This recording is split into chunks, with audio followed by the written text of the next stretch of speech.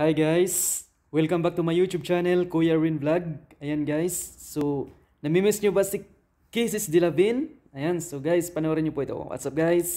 Isa sa mga matunog na names as rumored applicant for this year's Miss Universe Philippines ay ang 22-year-old celebrity at former Pinoy Big Brother housemate na si Kirsten Danielle Tan Delavin o mas kilalang Kisses Delavin. Nag-trending si Kisses online sa napabalitang sasali nga daw siya sa Miss Universe Philippines. On her recent interview with Mr. Boy Abunda, sinabi niya na ni-recruit siya para sumali sa Miss World Philippines 2021 subalit hindi na pinush ang Miss World Philippines because of her studies and unfinished projects. Si Kisses ay kasalukuyang college student sa De La Salle University sa kursong accountancy. Her mother describes Kisses as a miracle baby, as out of the eight pregnancies that she had, only Delavine survived.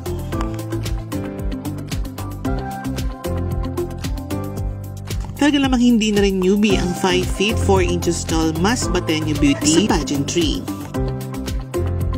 Narito ang ilan sa mga past pageants niya na sinalihan at napanalunan.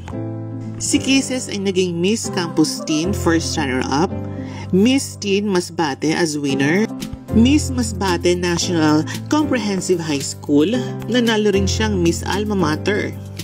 Naging finalist sa Miss Teen Earth Philippines noong 2015 at nanalong Miss Masbate Province at Miss Kaugma year 2016.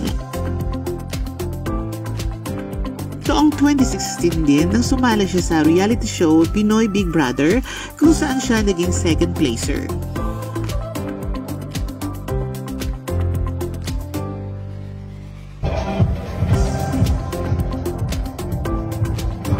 Kirsten Daniel Dalby, your Miss Teen Earth number 5, all the way from the heart of the Philippine archipelago, Masbate City.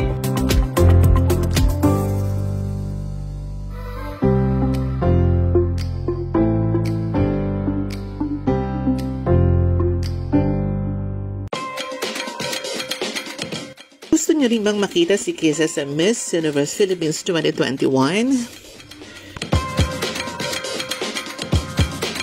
Will Cases be the next Miss Universe Philippines?